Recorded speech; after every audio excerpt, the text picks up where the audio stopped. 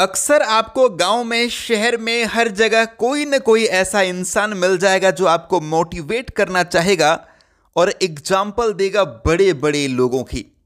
ऐसे लोगों की जिसने सफ़र किया है फर्श से लेकर अर्श तक।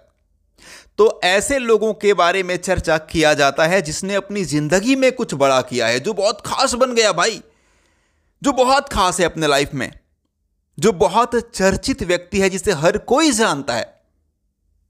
तो देखिए, यहाँ पर एक पेज है इंस्टाग्राम पर एक आईडी है, जिस आईडी के चार मिलियन से ऊपर फॉलोवर्स है, और इस आईडी का काम ही है लोगों को मोटिवेशन देना। आईडी का नाम है मोटिवेशन लाइन और यहाँ पर देखिए, इस भाई ने कुछ तस्वीर लगाया है यहाँ पर। समझ रहे हैं? अब तस्वीर किसकी? एपीजे अब्दुल कलाम जी की। समझ रहे हैं? भाई परमाणु मैन जिन्होंने परमाणु का आविष्कार किया भारत में, जो हमारे राष्ट्रपति रह चुके हैं, बहुत बड़े साइंटिस्ट। तो इनके बारे में बोला गया है कि न्यूज़ पेपर बेचा। फिर हमारे प्रधानमंत्री जी, नरेंद्र मोदी जी, जिन्होंने हैट्रिक लगा दिया, आज तक मुख्यमंत्री का चुनाव कभी नहीं हारे, ना ही प्रधानमंत्री का चुनाव कभी हारे हैं।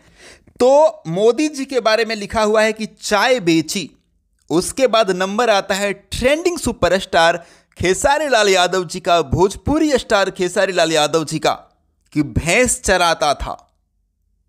समझ रहे हैं आप?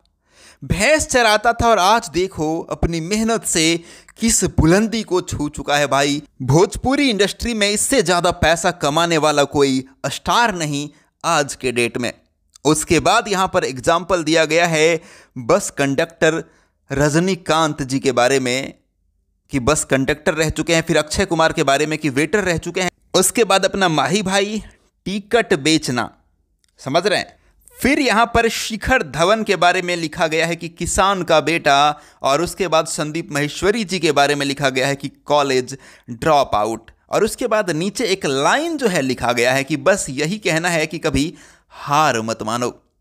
तो भाई साहब, हिंदुस्तान में खेसारी लाल यादव के बारे में सबको मालूम है कि आज बहुत बड़ी हस्ती है, लेकिन कभी भैंस चराता था भाई साहब। हाँ और ये सही बात भी है, जीवन में कभी हार नहीं माननी चाहिए।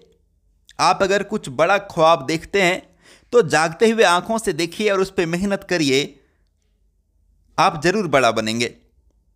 सो एक अपडेट था, मुझे लगा आपके साथ में शेयर करना चाहिए। मैं महेश पांडे आप लोग देख रहे थे भोजीवुड एंटरटेनमेंट ये वीडियो पसंद आया तो प्लीज़ लाइक शेयर ज़रूर करिएगा।